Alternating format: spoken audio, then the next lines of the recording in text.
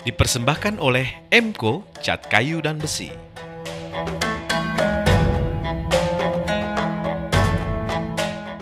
Hai orang-orang yang beriman, diwajibkan atas kamu berpuasa sebagaimana diwajibkan atas orang-orang sebelum kalian agar kamu bertakwa.